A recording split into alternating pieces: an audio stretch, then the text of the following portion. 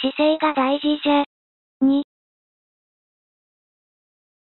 回とは丹田がまっすぐに揃った時に、上丹田より生じる心よい感覚じゃ。それは例えば、良い景色などを見た時の感激にも似ておる。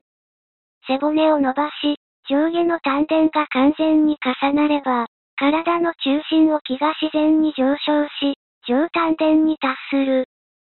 すると背中に電気が走ったように感じ、全身に心地よさが広がる。鳥肌が立ち、髪の毛が逆立つようなものもおる。この感覚と快を得るための上中下の丹田の統一は、言葉で伝えるのは難しい。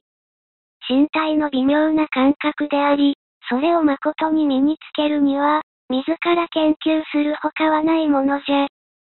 初心のものはとりあえず背中をまっすぐにして、頭の中心と下丹田にゴルフボールくらいのボールがあり、それを上から垂直に合わせるようにイメージするのじゃ。ボールが重なれば自然に解が生じるゆえに、そこが正しい姿勢の位置であるとわかるであろう。